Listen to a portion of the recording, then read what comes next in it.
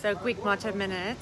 Um, what is unique about you? What is really different about you? So, we've got one of those things that we look at, which is pride, and in a good way, pride in the sense that you, you're happy with who you are and what you represent. And when you ask the question, what is unique about you, what you're actually asking is, what is my brand? What is it that I'm putting out there? So, if you're not sure, ask your friends or your loved ones um, or your employees. Ask them if they think about you or your kids. Your kids, oh, they will tell you. They will tell you what they think is unique about you or what your brand represents.